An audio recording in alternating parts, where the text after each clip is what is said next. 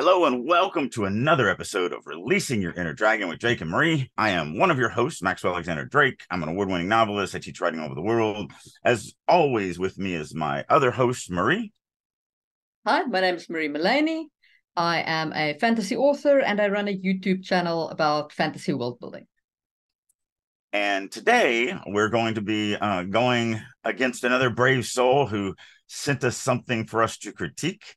Uh, but before we get in there, the normal, usual jargon, please help us by liking this so that the algorithms will pick us up. Make sure you share it with your writing communities. Make sure you subscribe so you know when episodes are dropping. Do all that stuff that you're supposed to do to help us out. We don't ask for much and we give a lot. So throw, throw a little love our way. All right. So jumping right into it. Uh, actually, before we get into that, before before we get into it, we do have a few things that, that we want to talk about. So, first of all, yeah, I have copies of the new book that me and Marie co wrote, Magic Fall. So, if you're on YouTube, you can actually see the cover. If you're not, it's a wonderful looking cover. I'm not going to describe it. Floating city in the background, two people standing looking at each other. Um, but these are up. You can pre order the the ebook only on Amazon. They don't allow us to throw up pre-orders on for the physical copies for some reason. I don't know why. I don't know what the difference is in pre-ordering ebooks versus pre-ordering physical copies. But it is also available on Starving Writer Studio for pre-order. Um, and the nice thing about going to Starving Writer Studio is you will be getting it autographed by both me and Marie because these are in my warehouse here in Las Vegas, and Marie will be in my warehouse in Las Vegas in just a few days from us yeah. recording this. So um, if you would like to get autographed copies of it and you're not going to be at Comic Con where you can actually see both of us, then that's the way to do it. Now, we are only doing paperback in this version. Um, hardbacks are very expensive, and to order a massive stock of them to stock in my warehouse is not going to happen. There will be a hardback available. Uh, unfortunately, it'll just be available from Amazon. So, um, you know, you'll have to fly to both Vegas and Finland or wait until the next time we're both together uh, to get both of us to sign it. But do have that. That book has uh, illustrations inside. Oh yes, it does. Um, just pull up one. There's one right there. Um, Check so that out. there is there's probably what about ten or twelve illustrations in here. Yeah. Somewhere in there, maybe a few more, maybe a few less. Uh, some really cool stuff. So, Burry. Yep some really cool stuff in here. It's a great story. You'll have a good time with it. Um, a lot of fun. Very excited about it. Love holding it in my grubby little hands. Marie hasn't even touched this yet because they, they're not available in Finland, at least this moment. Um, and then on a personal note, the first new novella for the eight novella prequels of The Realm of the Dying Sun is out. This will also be a Comic Con. This is also available. Now, this is just available on Amazon. Um, it's only going to be available in in paperback because it's just a novella. Um, but ebook and paperback on Amazon, and then of course you can get an autograph copy if you get it from Starving Writer Studio, uh, which is always where you want to be because if you want to support us artists, obviously ordering directly from us as opposed to giving Amazon a cut of it is going to be advantageous to us. Um, but we're going to be dropping. We have eight of these novellas. They will be dropping about every six to eight weeks over the next uh, 14 months uh, in anticipation for the 20 novel actual saga to start dropping. So the first one is there and done and ready, and it does not have interior art, um, but good looking little cover and and just a lot of fun. And this is a fantastic story. I'm really really proud of it. And then lastly, I've been talking about it. This is not available anywhere. Um, actually, I sold some last night at my local class, and I've got a local class tonight, so I'll sell a couple of them there. Um, hopefully, it'll be up this week but this is the ultimate guide to show don't tell. This is my if i was if i was working on a phd in in creative writing this would be my thesis on how to write like me how to write in a very emotional very immersive very engaging way. This is literally the ultimate guide to show don't tell. Um it is fantastic. It's a fun read uh, as always, I write my creative writing books to be very enjoyable to read. They always have a gimmick. In this one, I am a wizard, and you are my apprentice, and I am teaching you to cast the spell of show don't tell. And so it's a lot of fun. Um, some over the top language in here, as far as like Uh, a lot of my favorite readers were like, "Wow, this is like reading a 1950s fantasy voiceover uh, movie, but in a really good way." Um, so it's a lot of fun. And if, if you've read any of my brutal writing advice, you know they're all silly and and have a lot of kind of humor in them. So, but this will make you an absolutely amazing immersive writer. I highly recommend that you pick these up as soon as they're available. Um, these will be available through drakeu.com, not starvingwriterstudio.com. Uh, and then, of course, they'll be up on Amazon. So hopefully by the end of this week, we'll have these up. That's this one is kind of not in my hands because I have a business partner who handles all the the Drake U stuff. So that is in the works. But these are in the warehouse. So I do have uh, I think I got a thousand copies that were sent into my warehouse, uh, which will last me a couple months, maybe at most. but um, so yeah, so three new books as promised uh, for Comic Con San Diego. Somehow we accomplished it. That's it. That's that's my announcements as far as that is concerned. Uh, so I'm going to turn it over to Marie, let her share her screen. If you're on YouTube, you can watch us actually, you know, and read along with us. If you're on a podcast, just listen and we'll try to be as thorough as we can with our descriptions. Right. So, uh, as always, we have changed character names, and uh, I will just get going with reading this. Once upon a time, John told his mother that he wouldn't live to see 40. Like a true warrior, he would be cut down by a sword on the battlefield, struck by an arrow, or turned into pieces of minced meat in an explosion of oil, metal, and gunpowder. He would scream in universal fear, even though he wouldn't want to admit it to himself. However, sometimes he would try to please her with the idea that he would be poisoned. He imagined that, for that occasion, his poisoners would order specially crafted teapots.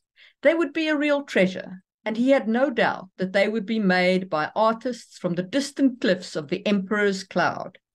He envisioned the moment when he would laugh in their faces, knowing he was eternal, his name eternal, his legacy eternal. After all, individuals always perish at the hands of the defeated, and who can be more defeated than those tyrants in power? Wasn't that a valid line of thought? His mother would almost always dismiss it with a half smile, saying he was wasting his time on nonsense. She would look at him through a small window concealed by wooden grills. Since then, a lot of time has passed. He hasn't seen that little window for decades, his mother's face even longer. In his memories, her round, smiling face will forever remain colored by the scent of withered flowers. Okay, I'm going to stop there because I think we have quite a lot to say. So I don't say this often, but this is crying out for first person. This whole introductory paragraph would read better in first person. Maybe. I mean, it's it's it's omniscient, and so mm. whether you're going to write it in first person omniscient or third person omniscient, it really doesn't matter. Um, so I want to preface by saying it's actually interesting and engaging. Um, mm-hmm. there is a there is a almost a tongue in cheekness to it of of the glorification of one's own death, um, which shows either a, a society with an ingrained insane ideology of self-sacrifice or just this individual being absolutely insane.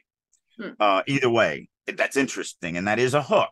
And we talk about this all the time about the hook. So this is a hook that makes you go, "Oh, this is interesting. Let me find out what's going on." It is still omniscient, though, and also it's a lot of information about a character that I don't care about yet. And so it's not as impactful, in my opinion, as it could be if I learned all of this information later more organically, as opposed to just being puked onto me right up at the beginning. So that's why I say I think it would read better in first person. Remember when we did that first person episode and we spoke about how omnis a first person omniscient is often used as an introductory mm-hmm. kind of mm-hmm. thing like like yours you know i am sasha i'm an angel that's false not you know blah, blah, like that that kind of thing right right that this mm-hmm. to me feels like that kind of introductory paragraph and i agree now, with that it works really well in first person right? Because you know that you it's a it's a first person narrator telling you what's happened to them making it immediately engaging right? Because you're finding out about the person who's going to tell you the story or through who you will experience the story. Mm-hmm. and that's what that's what makes that kind of introduction that kind of first person omniscient thing engaging. The problem with third person omniscient is that it is removed and you don't know who the narrator is right so it's like the universe is just info dumping this on you, as opposed to a person, right. you know, telling you, as opposed to the character telling you this. Hundred percent. Um, yes, and and we talked about that, you know, in the first person, but you're hundred percent right with that. Um, you know, the once upon a time, obviously, I would never do that. I, I don't agree with it. I think it's a horrible way to start off a story. A lot of people are probably going to be turned off like right there and put the book down without even going any further. Um, but you are correct. If the beginning of this was written in first person, you get that immediate connection. You know, I once told my mother that I wouldn't live to see 40. Mm. You know, there's just something engaging about that. Now, exactly. the problem I have is that you then can't switch. You can't then come down here to the next section and switch into third person because that will be too jarring and it'll be like wait a minute where did that guy go? W- what is this story now? And i'm just a very big proponent against mixing first and third person. It doesn't work as well as you think it works. So, so i hear you. I you can. I mean Kingkiller Kingkiller does right? Yeah, i mean you can do you can do it sure. You can do it. But it it does take a lot of setup mm-hmm. right? Which because what you would what you would then need to obviously do is say like let me walk with me and experience my tale or something like that and then have a, a clear scene break where you then go into you know the the actual thing. But, but you could still... also do the i think like i don't know if this is a multi pov um, story. You know, maybe it's a single POV and it's actually easy just to write this first person. Yeah, we don't. We obviously only have one chapter, so. well, and I'm even I'm even more behind than you because because of my sickness and all of that this week, I'm literally walking into this and now I have read one you know par- one paragraph of the story so far today, so I yeah. literally have no idea what's coming next. Um, and yes, I hear you with that, but but here's the thing: even when you do that, remember, point of view is the illusion that you create that wraps around the reader so that they understand how they're going to experience the story. So when you start a, an illusion bubble of first person and you allow them to get comfortable in that, especially if you do a good job, because there's some really good hooky things in here, like that opening line. If it said instead, I once told my mother that I wouldn't live to see 40. Like that's a very it's like, well, why would you tell your mother that? What, what the hell's going on here? Hmm. And it and also there's some things in here. Again, we talked about this with first person too. The most important thing about first person is to create an engaging voice. Hmm. So if you create if if this is written correctly and it has a very engaging voice, Mm-hmm. That's where the disconnect comes in because now you've created this beautiful illusion, this very comfortable shell that I'm going to ride in of this voice that I've fallen in love with in one paragraph. And then you're going to ruthlessly rip that away and stick me into a different bubble a different vehicle that I'm now going to have to get used to. I just, you know, I, mm-hmm. you set me in this thing. I adjusted my seat. I've I've adjusted the rearview mirror. Everything's really comfortable, and then all of a sudden you put me in a different car. And I'm like, well, well now I got to do all that over again. Mm-hmm. And so, yes, people do it. Yes, it can work, but no, it will never work flawlessly. There yeah. will always be that moment for the reader where they have to adjust from one vehicle to the next. It can yeah. never happen perfectly. It has never been done perfectly because you can't, it's impossible. You're moving to another vehicle. You can do it really well to limit the impact of it, but hmm. the impact is still there. And then again, that comes down to the question that me and you have talked about many, many, many times, which is asking yourself why you're doing this. Does switching from first person, you know, let's say we did open this in first person and we switched to third, does that actually improve the reader's experience through the story? Not just because we can do it. So, mm-hmm. you know, I love Pat Patrick Rothfuss. I love, you know, the name of the wind, but I still the weakest part of that was for me was switching from first to third person. And not because he didn't do it well. He did it well. Not because he didn't have a reason for it. I just don't agree that the reason improved the journey for the audience. Hmm. i i don't think it made any difference. I don't think that that story would have been any more or less impactful if it was all written in first if it was all written in third or if it was written in the first third hybrid that he did. And that's where i have a problem with it. If it doesn't actually improve the story, if it doesn't actually have a massive impact that makes me go, oh, yeah, you know, doing it this way absolutely needs to happen because of all this amazing stuff that it brings to the table, which way outweighs mm. the the the problem of switching your audience having to switch vehicles between first and third. So, so so the reason why like and i'm not saying this this i'm not saying this author should switch um i, I actually right. think they should do this whole thing in first person because the the voice is very strong in this piece there's a mm. very strong voice here but um but the the reason why i thought that they could potentially switch is because they already have a tense switch here so right. up here we're it. doing john told his mother da da da da then here since then, a lot of time has passed. Check that switch to first, but the first, first uh, to to um present tense. To present tense. Mm-hmm.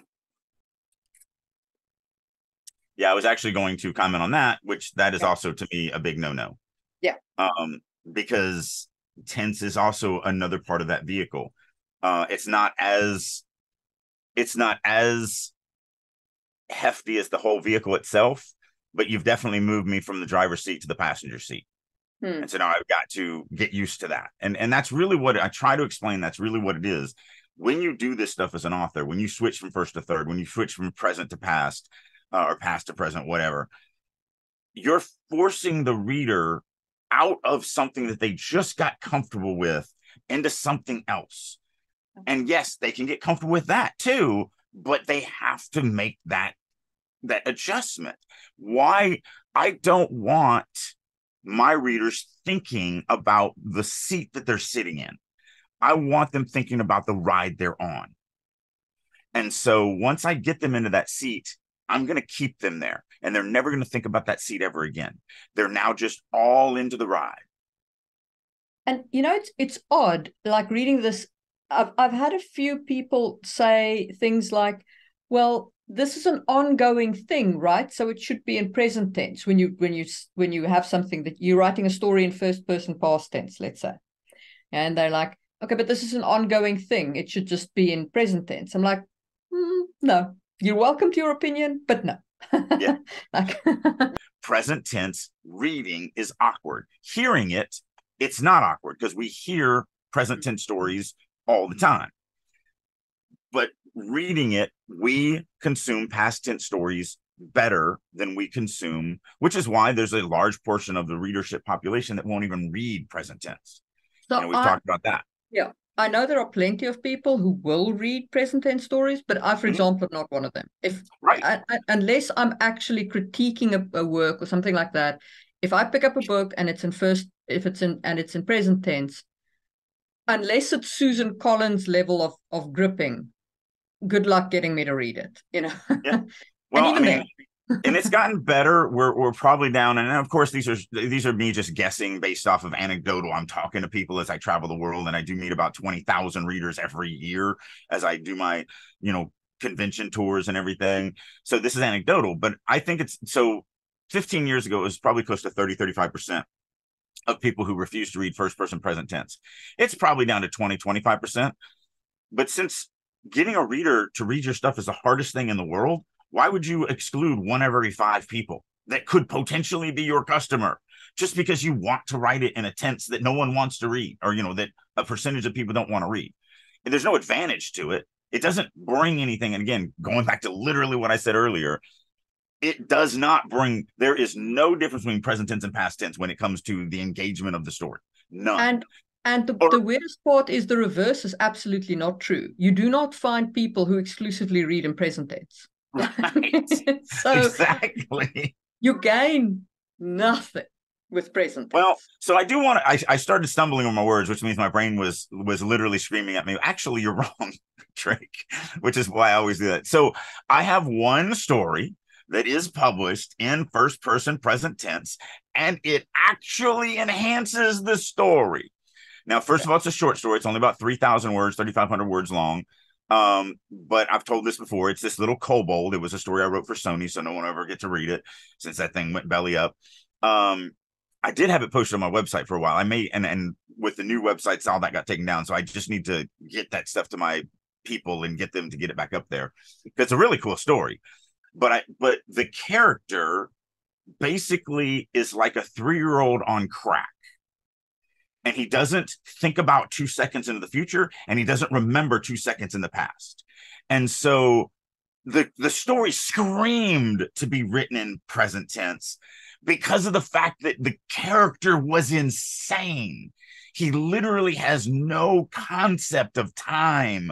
He lives only in the now. And so, because of that, it actually, because I did write it in past tense first, I wrote the whole story in past tense. And I was like, this isn't as good as it should, I feel like it should be. And then I just changed the tense. I rewrote it in, in present tense. I was like, wow, this is actually really good. This guy's crazy. Um, so that's why I started stumbling because there there can be reasons to break these rules. I mean, to be fair, like in in my third book of Sangwheel, I actually do switch into present tense, um, as I showed you at one point where I have a character who experiences visions, Mhm. and I write those visions in italic and present tense to to separate them because you know that it brings that it brings a sense of like differentiation. Mhm. So it it's not But that again, it never a- has a place. But that's a story reason that enhances the the impact that it has on the reader. And Yeah. that's what I mean. When you have that, doesn't mean you're going to succeed with it. Um, yours, I think, was great, but I'm just saying it's not just a cart bomb. Just because you think it's the right reason, and I'm using the proverbial you, just because you think it's the right reason, that's why you've got to use Drake's rule of 10. Get 10 people who don't give a crap about you, and at least eight of them need to agree that you've done a good job, and then you've done a good job.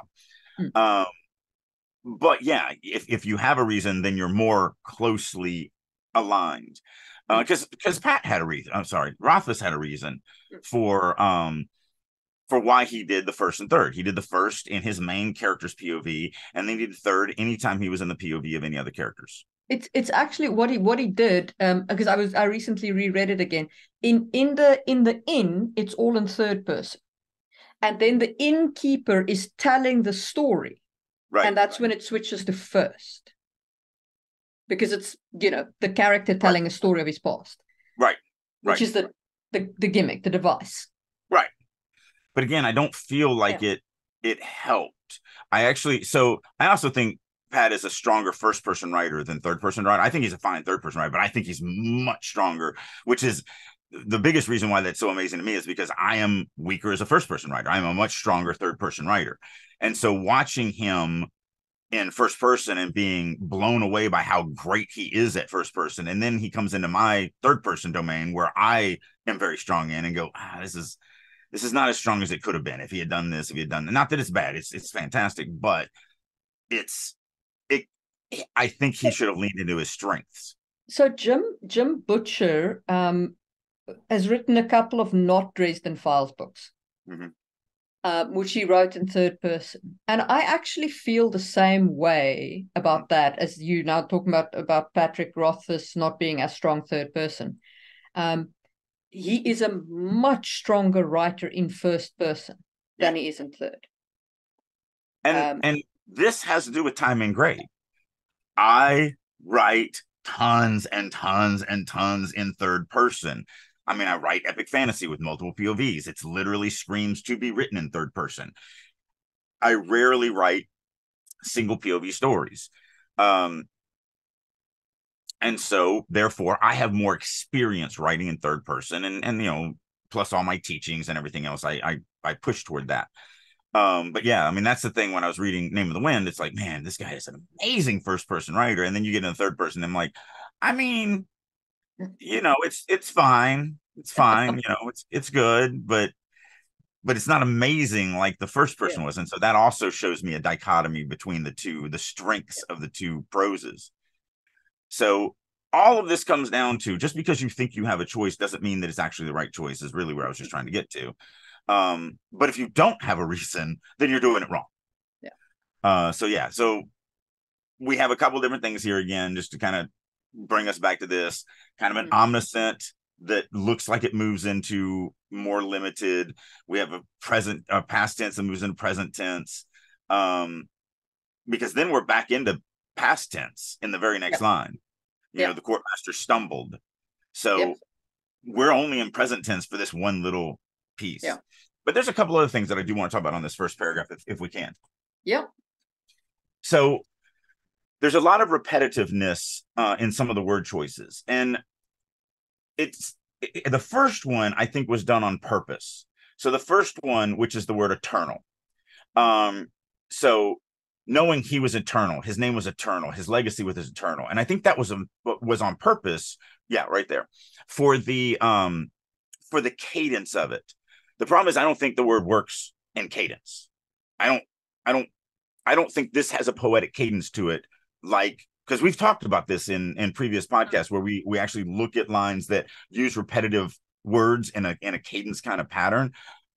This doesn't work for me as a cadence. I think this would work better if it was eternal and then a synonym for eternal and then a synonym for eternal. Like I think it would work better if it was three words that mean the same thing but three different words. Mm. Um and then the second one you even stumbled over uh because I don't think it was on purpose and that's face. Uh, down in the second to the last line, his mother's face even longer, uh, yeah. uh, her round smiling face. Because you hit that second one, you were like, "I'm pretty sure I just read that word. What's going on here?" Yeah.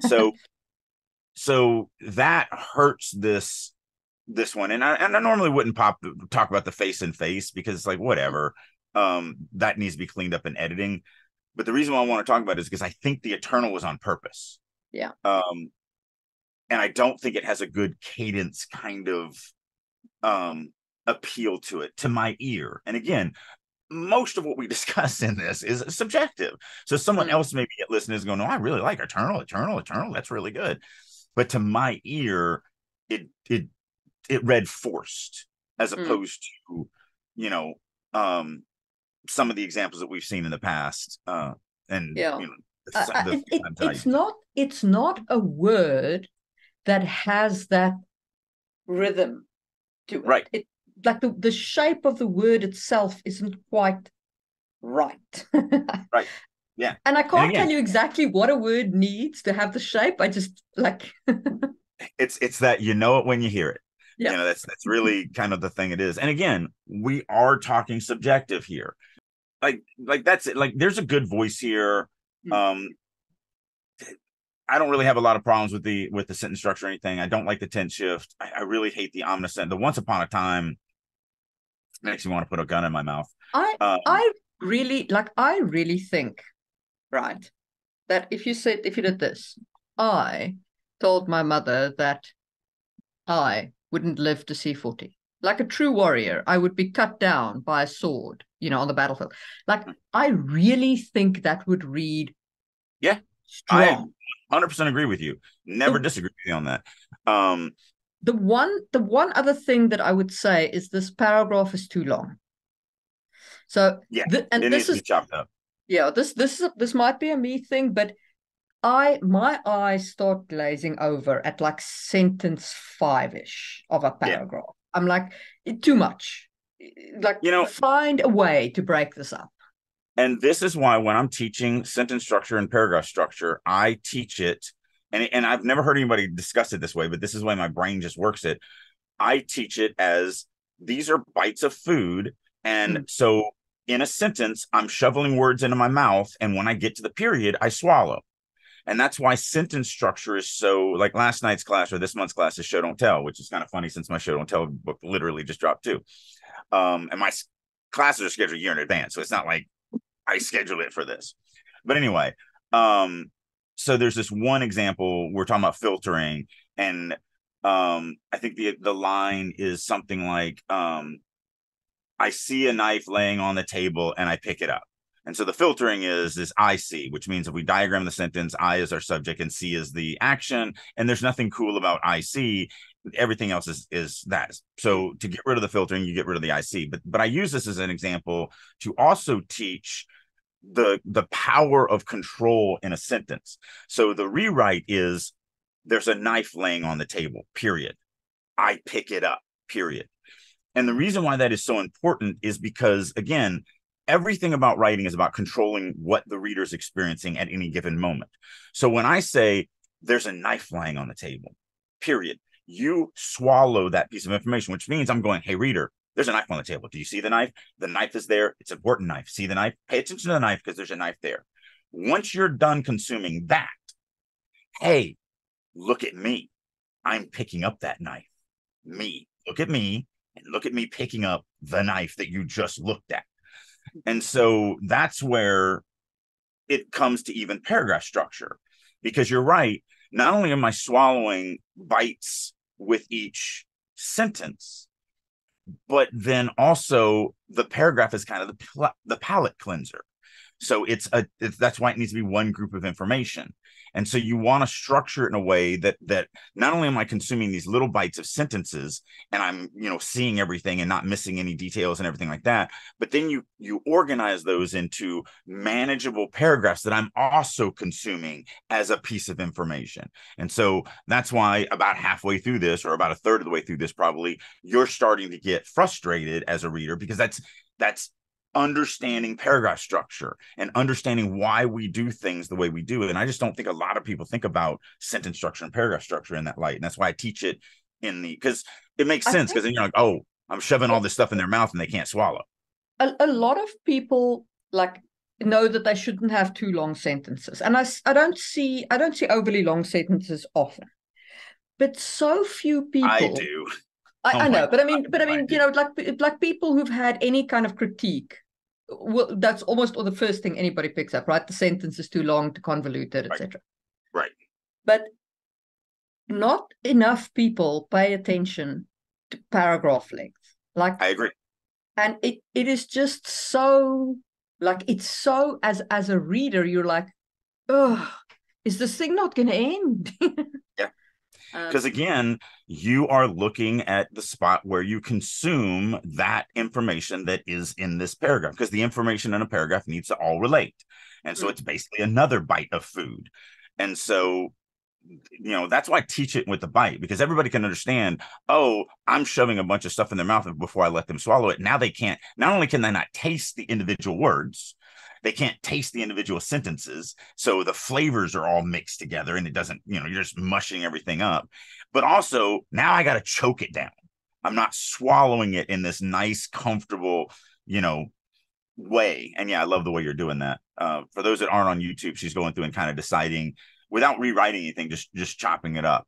But as an example because uh, i do want to bring this up um, we just hammered on the eternal not being a great rhythm. And yet she did do something that does help it. I still don't agree with the word, but now she's got a complete sentence by itself. He envisioned the moment when he would laugh in their faces, knowing he was eternal. New paragraph. His name, eternal. New paragraph. His legacy, eternal. And see, by because again, not only does a paragraph make me pause, I mean, a, pe- a period make me pause, but a new paragraph also stresses it. So when you have something like that, this, we've talked about this before on this podcast, where I'll even do one word paragraphs because it literally makes the reader stop. If if that one word is in the middle of a paragraph, they'll gloss right over it as they're going, even though it's its own sentence. But when you break it out into its own paragraph, they have to. It, it's commanded that they will pay attention to it. The the only thing that leaps out more than a single word paragraph or like a short paragraph like this, like a three word paragraph, is if you put it in bold. And bold hurts the eyes so much that you should never use it. yeah, no, yeah. I'm glad you said that at the end because I was about to say, what? What are you talking about? No, no bold. Never use bold. Like I'm not gonna say absolutely never, but never use bold. like it I mean, is, yeah. It, it hurts. It hurts. Everything can be broken if there's a right reason for it. But. But yes, never usable. um, I mean, you have to have a darn good reason. Um, You've really got to have a good reason because it, it literally really the story. The story is broken if I don't bold this word. Yeah. so yeah, but yeah, so so yeah, I'm glad you brought that up because I wasn't going to bring up that I wasn't going to go down that path, but um, but, but paragraph structure is something I pay attention to because I feel like paragraphs are like scaffolding, mm-hmm. right?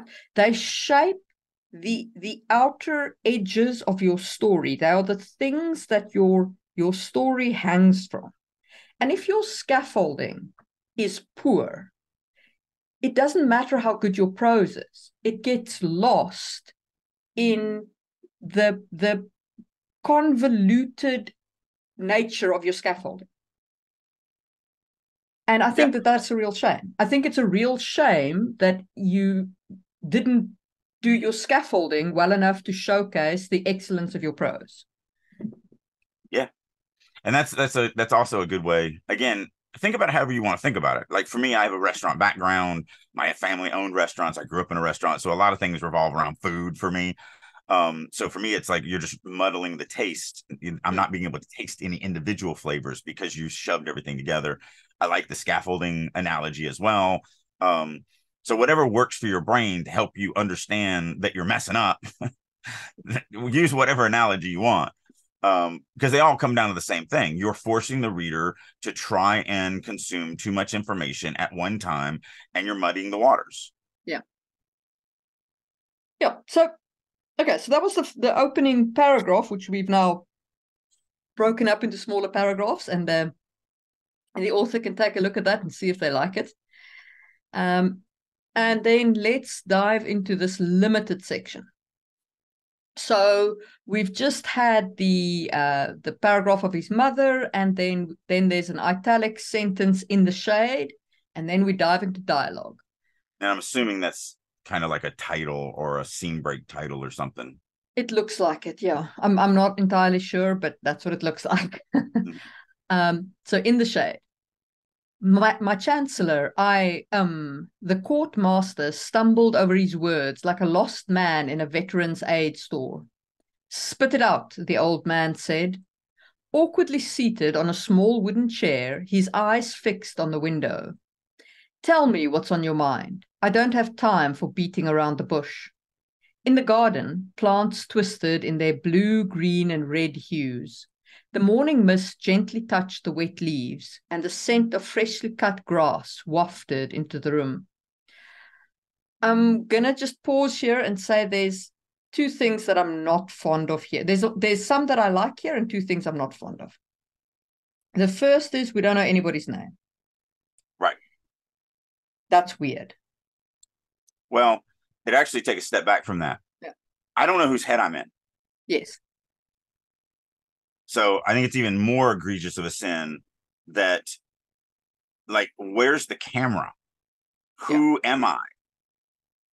That's the number one most important thing that you have to set up immediately because now I'm floundering. And then you are correct. It's exasperated by the fact that everybody is this because like the court master stumbled the old man said is the court master the old man? Are they the same person? I mean there's not enough difference between the court master and the old man. And since i have no idea where the camera is and i since i have no idea where i'm at yet and i'll i will give you a little time on the where am i at. That needs to be done in the first couple of paragraphs. And we mm. start to get a little bit of it in that second paragraph. There's there's a garden there's weird colored plants there's you know so we're getting a little bit of the setting of the scene. But it is an egregious sin to not have the reader know whose head they're in because now they're just floating in nothingness and they're not connected to anything. So nothing matters because you don't know from whose perspective you're supposed to care about this information. And so, in my opinion, writing limited in this way is worse than writing omniscient because at least with omniscient you're grounded to this faceless guy who's telling you a story that's sitting next to you that's not in the story but with this there's not even a faceless guy sitting next to me it's mm. like i just i'm like what who what where i don't uh. and so that's the the but then you're right it's exasperated by the fact that that not only that, we don't even get anybody's names. We don't know, and and it's not the names that are important. It's the fact that the courtmaster could also be the old man. Now, yeah. obviously, it's not because one's stumbling over the words and the other one's saying "spit it out," but it could be Gollum. like yeah.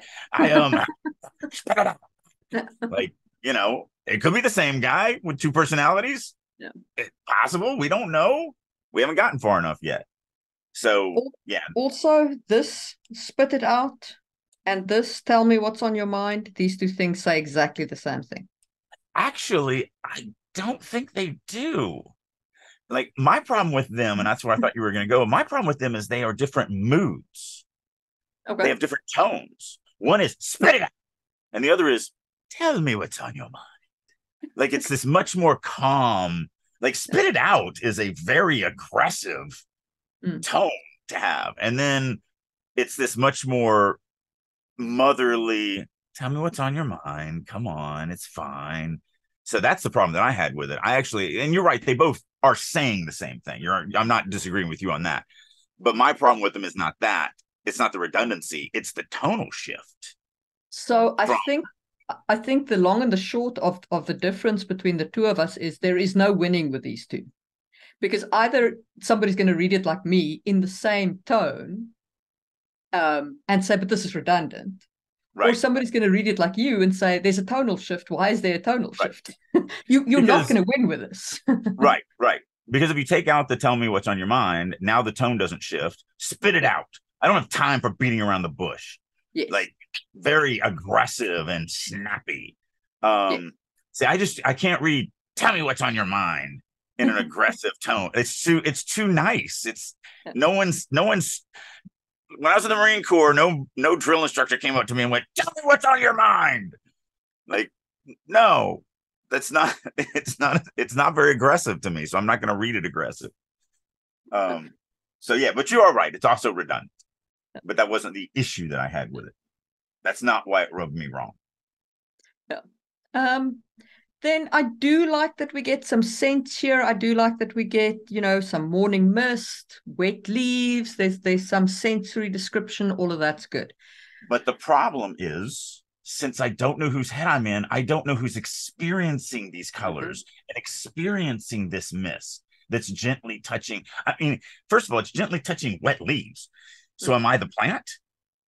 Am I in the plant's head? Like, because I'm feeling that. Like, I mean, I'm, I'm, I no, no, I'm, I'm, I'm gonna call you, okay? Because, because, I mean, that, that to me is just like, um, pretty praise. That's like saying I'm, the sun's rays kiss the I'm, flower. You know, I'm exaggerating. I'm exaggerating. I was picking. I obviously know we're not in the plant's head. I'm just exaggerating the fact that we're not in a head, so I don't know who's experiencing this stuff. Yeah. And since the plant is the only thing experiencing something right now, hmm like it makes it it's it's a great description if I was grounded in something. Yes. But since I'm not, yeah. it doesn't mean anything to me.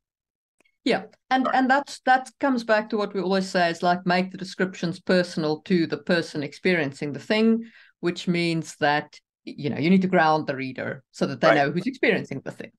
right. Okay. So continuing onwards, uh, my chancellor, I'm afraid, I'm afraid it's not good. The master exhaled. Okay. I'm going to stop right there. This is not a speech tag. Right. Thank you very much. the master exhaled does not tell me how the line was said. It is just an action. Yes. So I'm afraid it's not good. Does not end in a, in a comma. It ends in a period. And then the the is capitalized because it is its own sentence. Yep. Very good catch. um, a short, unimpressive individual with space be- with okay, a short, unimpressive individual with space beard and even spacer hair. This sentence is not a sentence. Nope, it has no action. Yeah. A sentence to be a sentence must have a subject and an action. And by the way, um, we here in here in the states pronounce that sparse and sparser. Sparse. Okay. Um, I don't usually correct her English because she does speak like 20 more languages than I do. And so I'm I'm the dumb one of this team when it comes to language. But uh anyway, um yeah. You need to be able to, and I say this all the time to be a professional writer, you must be able to diagram every sentence you write. The cool thing is you don't need to diagram much. The biggest thing you need to understand is how to pull out your subject and your action so that you can look at this and go, a short, unimpressive individual with sparse hair and even sparser or sparse beard and even sparser hair does what? What what are they doing? Hmm. Where's the what's what's the action? It's just a subject. See, so, if that if that the master exhaled was attached to that sentence, you could make a, a sentence out of it. Right. Uh, yes, if you put a comma at the end of exhaled instead. Now, um, I wouldn't the the connector uh, of a to me is is mm. too jarring. It's too detached. So I'd be yeah. um, it, it, would be a the, and actually I would probably flip it around with the short haired uh, unimpressive mm. individual with sharp with sparse beard and even sparser hair exhaled. Yeah. So I put the action on the end if I was going to do that. Yeah. But yes, you're 100 percent right. You could can yeah. you could combine those up. Um, and then you and then you can have a like a sentence out of that, which right. is right. His right eye twitched in a tick. Yeah, I think that's overriding. Yeah, at this in a tick. Yeah, his right eye twitched is enough. I think or his his right eye ticked. Yeah, twitched um, or ticked or whatever, but it doesn't need to be twitched in a tick. They're basically the same thing. Yeah. Um, and and the reason why I'm calling this out is this is one of my sins. I I have a tendency to do this, like right. this exact thing. So so I notice it in other people's writing because I try and catch it in my own writing. yep. Yeah, we talked about that a lot. Um, yeah, in Magic Falls. Yeah. yeah um, um, because you saw my very very alpha draft. yes. Yeah. yeah. That was so, a lot of fun. I actually really like that because we wrote that so fast. You were literally just puking words as fast as you could, and then I was coming behind, and so yeah, that was awesome. Saying like, I'm a whole person, not just a spine. so for context, um, Marie really loves spines. Like things move up spines, things move down spines, spines contract, spines elongate. And so I eventually got in the habit where I just had a macro that I made that I would do a comment and it would say, I am a human, I am not a spine, I am a human being, which is the whole, you know, hunchback kind of thing. I'm not an animal.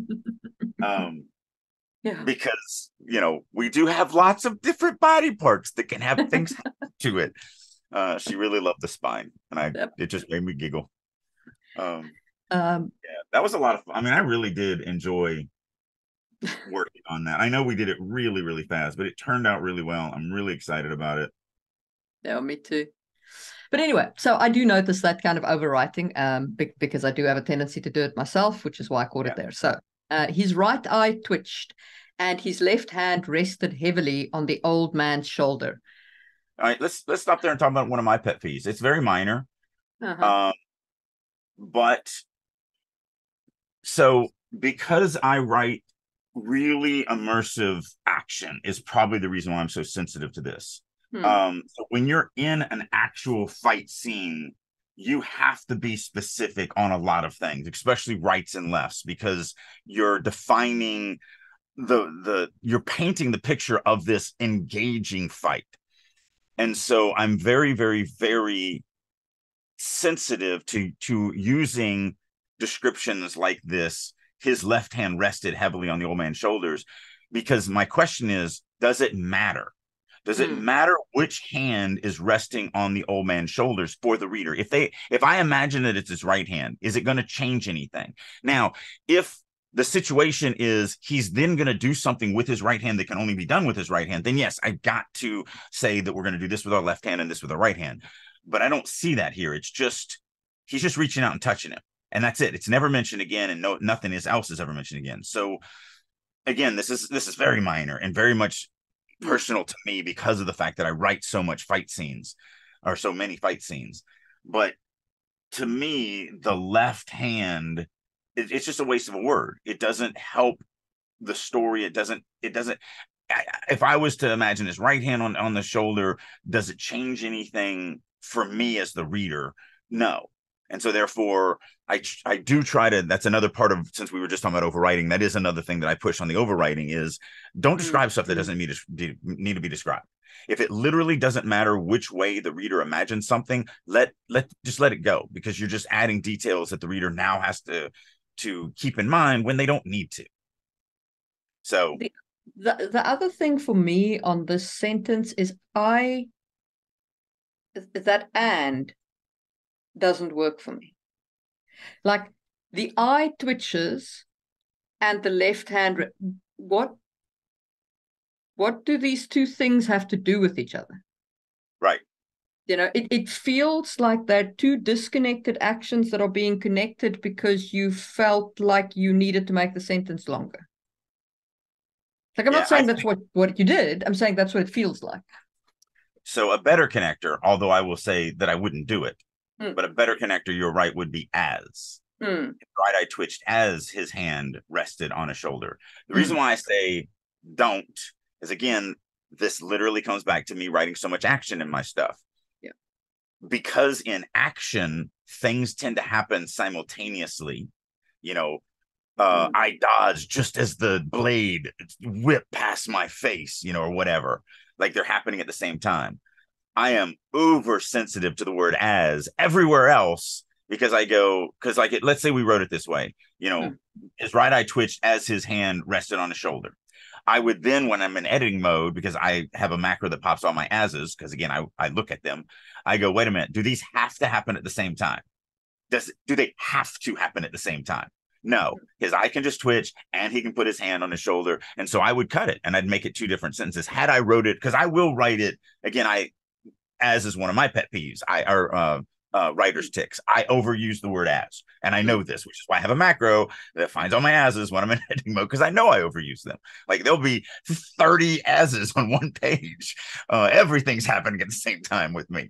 Um, so I will absolutely in in rough draft mode, I would absolutely write his eye twitched as he laid his hand on his shoulder. I 100% I'll write that, guaranteed.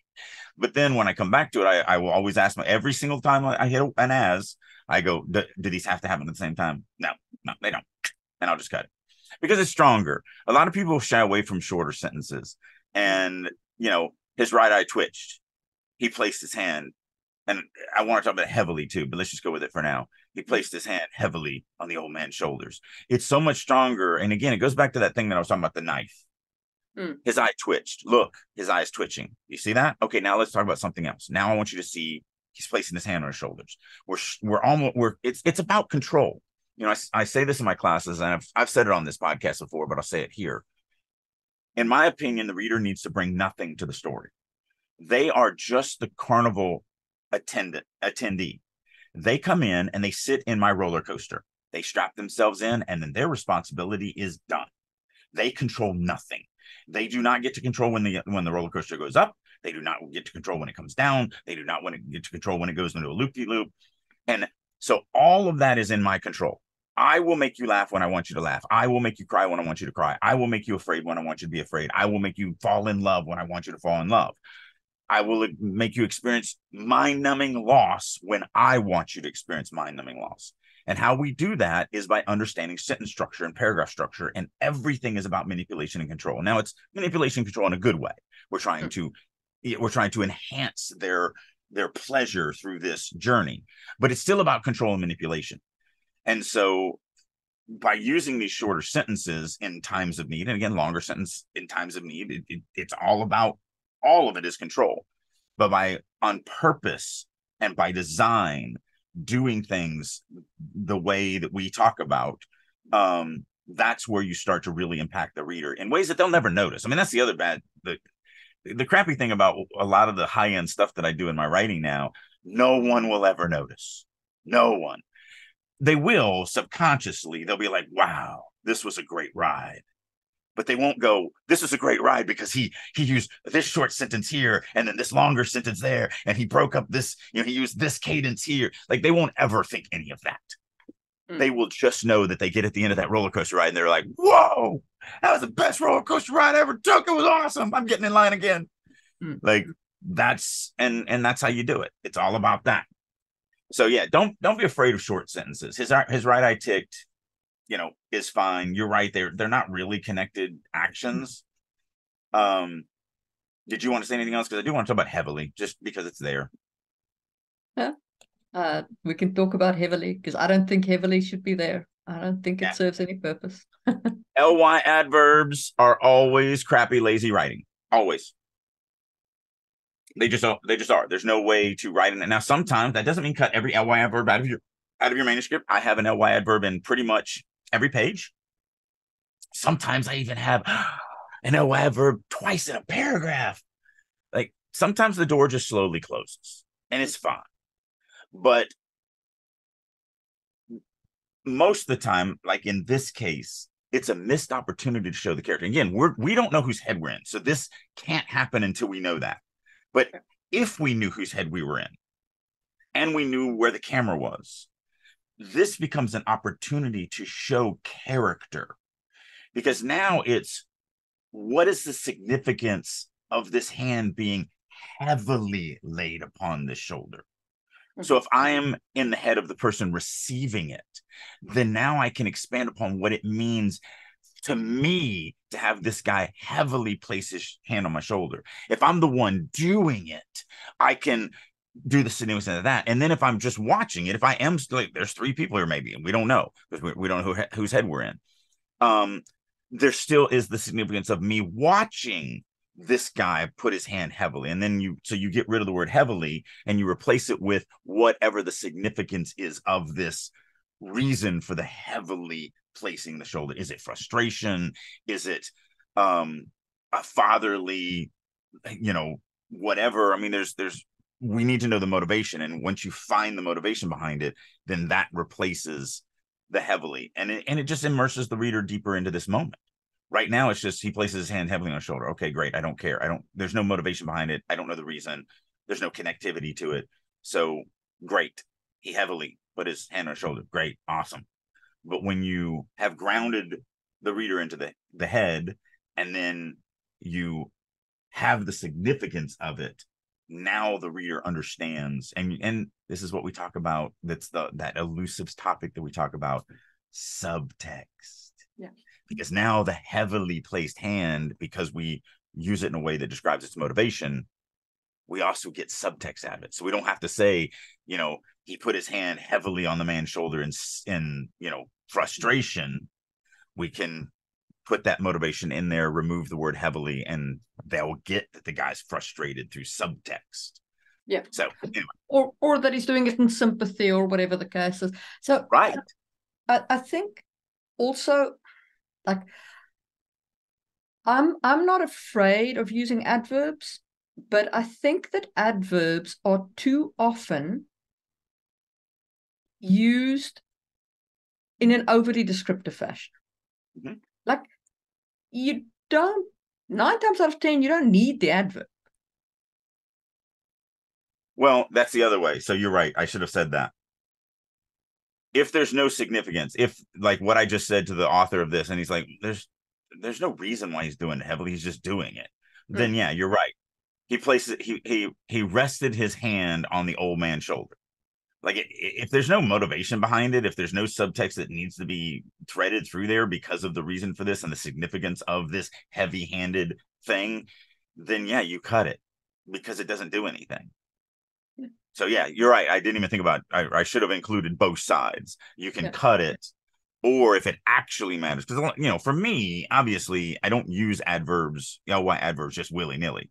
So if I do it, it's because I'm actually just being lazy in my first draft, mm. and the heavily does have a significance. And so when I'm doing my first draft, I'm not thinking about being a showy immersive writer i'm just thinking about getting mm-hmm. words on the page and so i'll write heavily on his shoulder and then when i come back around because again one of my my macros also pops every ly adverb and so I'll go through and be like, oh, right. No, he puts it on because I have this in my mind when I was writing it. There is a significance to it.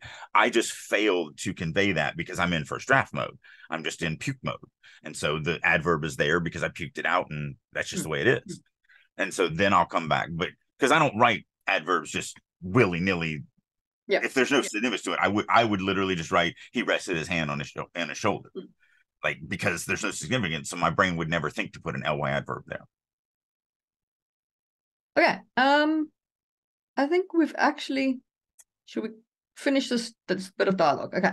So Yeah, uh, he's right. He's Let's right. see if we ever figure out whose head we're in. Okay. Uh, his right eye twitched and his left hand rested heavily on the old man's shoulder. Chancellor, it's good that you came in, that you came. Maybe we can't do much, but we can ease the pain. Unfortunately, I was right. He looked the old man straight in the eyes, then turned to a nearby sideboard. He rummaged through worn out wooden boxes, took out a vial of silvery liquid, and handed it to the Chancellor. Yellow fever? The master didn't answer, nor did he meet his gaze. Ben, we've known each other for too long. I know, I knew something wasn't right as soon as you got me up so early to come here, the Chancellor said as he took the vial.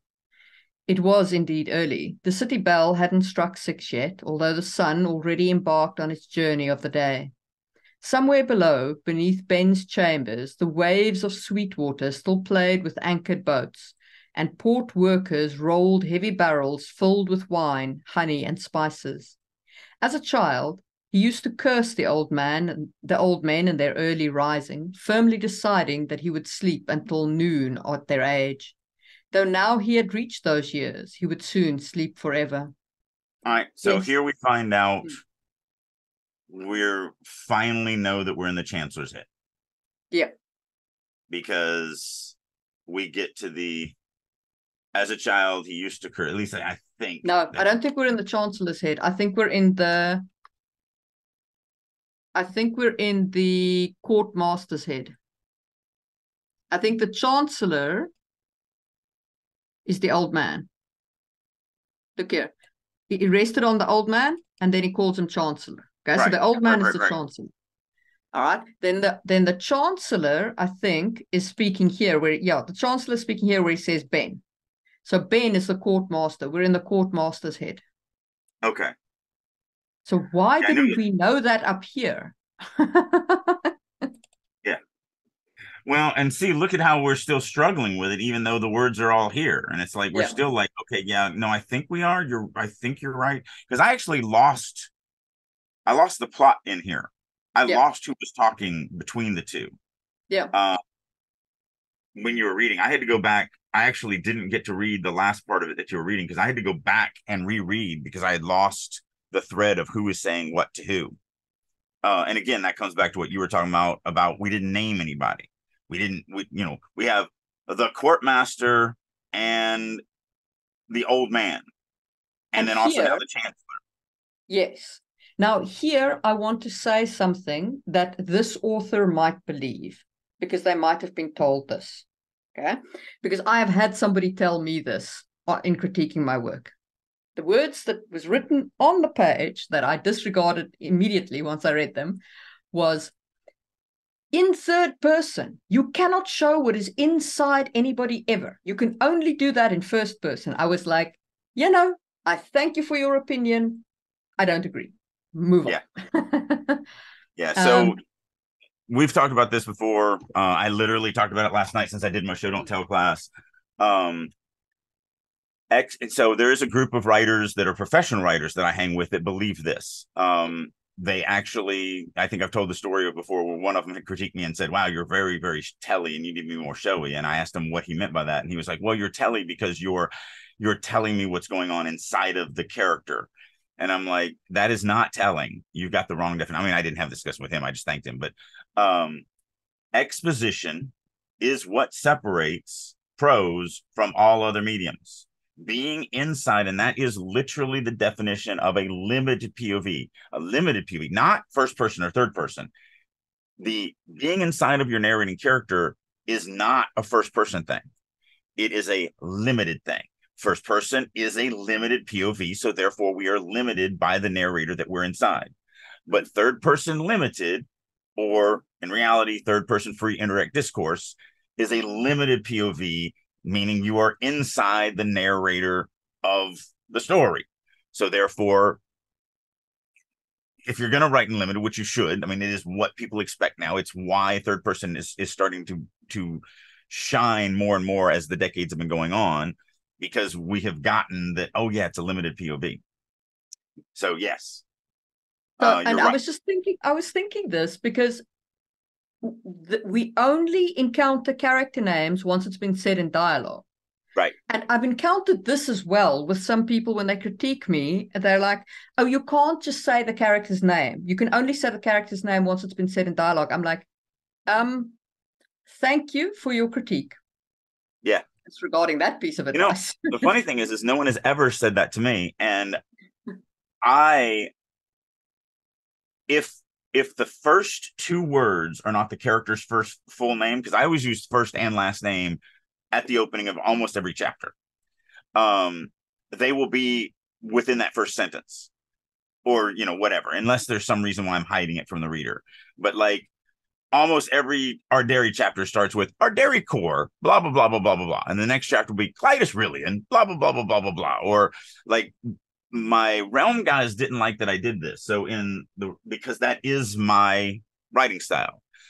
So since I don't write very much single POV, this is a single POV story. There's I think 11 chapters or 12 chapters in here and it's only Latimus.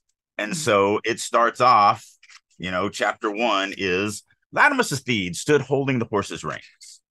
Chapter 2 is and I don't know, I haven't looked at this, but let's just see. Chapter two is uh well, there's a whole paragraph because I'm tying into the last chapter. But in the second paragraph, the night passed better than Latimus Athede had expected. And then in the third chapter, the rest of Latimus Athede's morning passed. I mean, and I never use Athede other than that. I only use it at the beginning of every chapter. But again, I write multi POV characters. So it's not as I do get, and I actually did almost bend. Like when my other realm writers were like, you don't need to keep saying Athede. I, I almost took it out. I almost was like, you know what? You're right. I don't write a lot of third person single POV, so maybe I should. And then I was like, you know what? But that's my writing style. Mm-hmm. I've literally been doing it this way for 30 years. Everyone who reads me knows that I do this. If it offends somebody, okay, I'll take that hit, but I'm going to leave it in there. I mean, if you get offended by the fact that I wrote, I, you know, Latimus Athede at the beginning of 11 chapters, then you're pretty petty, in my opinion. So Um, I- in in Magic Fall, I did it for the first introductory chapter. In both cases, I used name Right. and surname. But following on from there, I just used their names throughout. Right. Uh, and I was fine with that too. um, but, but that's just the, that's just the me. Like it, I, I I also like with Louis, you don't learn his surname until I don't know the end of the book, just about. yeah. Well, so it, it depends. Yeah. so in Genesis, um, the first chapter opens up with the beast, Yeah. and then you actually only get the beast for um probably his first four or five chapters, and then he learns his name. Yeah. his name is actually Klain Kanan, and so that's when his chapter starts start starting with Klain Kanan, but only after he learns his name because he didn't even know his name. He, you know, somebody with magic and blah blah blah. I mean, it's all of that. So But I- yeah, so um, so it, it depends. But yeah, so I I do not subscribe to the you can't tell people's names Yeah. before dialogue. That is it is no, don't don't believe people. Don't believe people when they say that. I do not subscribe to the you cannot give internal emotions. You are literally writing in a limited POV. Use it. so to get back to this, I think that the the biggest problem that I have with this piece is that we don't we don't settle into the POV's head. And I personally, I think this would be best written in first person. That's my opinion. also my eyes just accidentally skipped down Mhm. and uh i'm not sure we're in ben's head because if you look at that last paragraph on the screen wheezing john hated wheezing as a child too Yep. we are in john's head in that line but i also So know why we're we in Ben's head. head here? Yeah, Right. we've got head hopping. So, um, and we've, I think we've exhausted talking about head hopping and why it's bad and why it destroys the story and doesn't help anything for immersion and readership and everything else. But my, my, literally, I know we're not going to read anymore because we've already kind of gone to time with this Yep. podcast, but my eyes just drifted down there and it, I saw that and I was like, oh, unless you didn't change that name, that is, I know that could have, so I guess there is a, possibility. No. I changed. I changed both names. They were other names. Okay. All right. Yep. All right. Uh, so anyway, yeah. Uh, the piece needs some work, but mostly it's fun, uh, foundational stuff. Mm. Um, grounding in the the POV's head, making sure we understand what POV we're going to use and why we're going to use it. Um, the, the the writing is is good. Mm. Like the voice solid- is strong. Like I really do feel really the voice good. is strong. That's why I vote for first person because that's what you need for first person. You need that strong voice. A hundred percent. The only problem is, is if this is a multi POV story, you can't write that in first person. You'll break Correct. it. Uh, I mean, you can, but again, you're ruining your whole vehicle thing that we have already discussed. So if it is multiple POVs, then third person is your baby. Yep. Um, but you need to tighten that up, and you need to stay in one head in every scene. So if we're in Ben's head in this scene, then we're in Ben's head in this scene, and John is a secondary character. And in the next scene, if we're in John's head, then Ben becomes a secondary character. And if you can, it is very difficult, but if you can, try to use a little bit different voice for John than you use for Ben. Yeah. Um, because it does enhance the read. It does. So yeah. I mean, some good stuff in here. Some really good stuff in here. Um, but I definitely really, I, I, this this opening paragraph, in my opinion, would read fantastic, like in first person. like it's it's one of those opening paragraphs that you can just feel in first person. You know. which is funny because it's the type of first person opening that you don't like that I do like. It it's not that I don't like it. I do like it sometimes because I mean Jacqueline Carey starts like that, and she's she's like runaway my favorite first person author. Um, she's also at Comic Con. Just on a side note, I saw the notification the other day. Um, but um, You'll have to break away and go. I'm I'm gonna have to, you know. um, but but it's um, it it's not like you can't start like this, you know. And this is a good way to start with first person, but it is a first person omniscient start, and it's as we discussed, it's a stylistic difference, right? Yeah. So, yeah. Yeah. All right. All right. I think that is that for this one, and uh, we will see you soon for another one. Bye.